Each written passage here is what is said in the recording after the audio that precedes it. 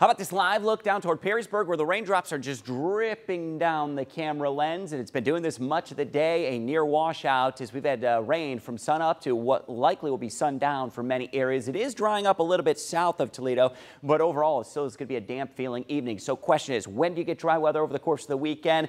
We get evening rain on Saturday, so that will mean mainly dry weather in the morning and through most of the afternoon. Highs are going to jump into the 60s, so we'll have a pocket of some decent weather tomorrow before some evening rain and storms return. So that lawn, no doubt, is getting quite long. You maybe need to run that mower tomorrow after the washout today. Cloudy and 50s first thing in the morning. We're going to be into the 60s through the afternoon. Thicker clouds. May get a couple peeks of sun. I'm not expecting it to be widespread. Good opportunity to get that yard work done early in the day before those showers and storms and rain become likely after 5 o'clock Saturday. So we'll time that out in just a few moments. But here's what we're dealing with this evening. Area of low pressure still spinning. Very slow moving area low pressure. It's drawing up some of those those rain showers into Ohio, and I do expect it's going to continue with at least some showers and drizzle across the parts of the area. Most of it occurring now north and west of the Toledo Metro and across the Toledo Metro, where still have widespread steadier showers directly over the Toledo Metro as we go into the evening drive. And there's some steadier pockets of rain right along Airport Highway north up to about Central Avenue. We got steadier showers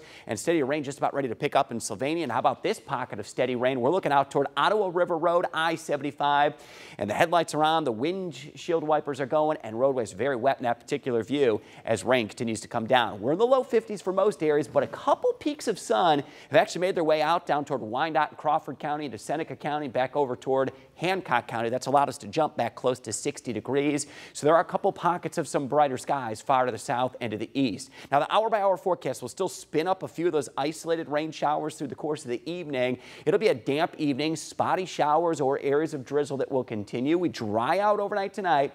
There's the dry but mainly cloudy skies Saturday morning. A couple peeks of sun that will be possible. We're still dry through 5 o'clock. There's the clock at 5 p.m. And it will be after that that we get some showers and a few rumbles of thunder that race into the area for our Saturday evening. How much additional rainfall, of course, in the midst of the growing season now could tack on an extra quarter to a half an inch of rain.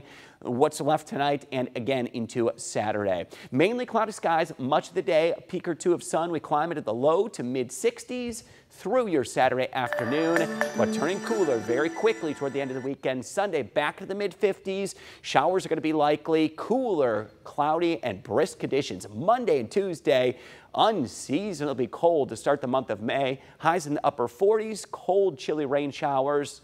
It may take us till the end of next week to climb back into the mid 60s Friday, Saturday, and Sunday of next week.